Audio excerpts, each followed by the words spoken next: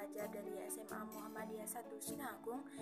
Di sini saya akan memberikan materi tentang kerajinan dan tujuan kerajinan.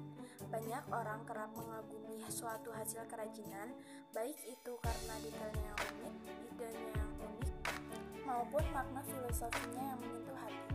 Kerajinan dapat dibuat dari kayu, plastik, kain, atau bahan-bahan sampah limbah yang sudah tidak digunakan.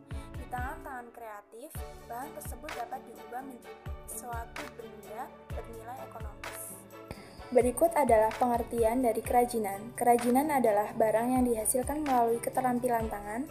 Kerajinan menghasilkan karya yang mementingkan nilai keindahan sebagai hiasan atau kegunaan. Pembuatan kerajinan yang prosesnya semakin rumit dilakukan membuat kualitas dan nilai jualnya yang semakin tinggi.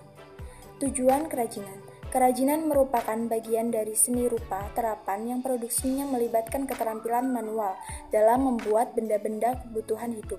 Produksi kerajinan dirancang untuk tujuan fungsional, kegunaan sekaligus memiliki nilai keindahan. Berikut beberapa tujuan kerajinan. 1. Sebagai penghias, kerajinan yang dibuat semata-mata sebagai hiasan pada benda atau sebagai pajangan tidak memiliki makna tertentu.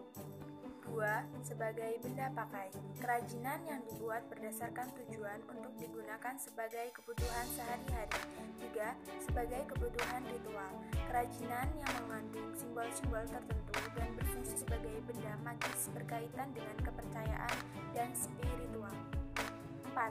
Sebagai kebutuhan simbolik, kerajinan tradisional biasanya berfungsi melambangkan hal tertentu yang berkaitan dengan spiritual lima, 5. Sebagai kebutuhan konstruktif, kerajinan berfungsi sebagai pendukung sebuah bangunan.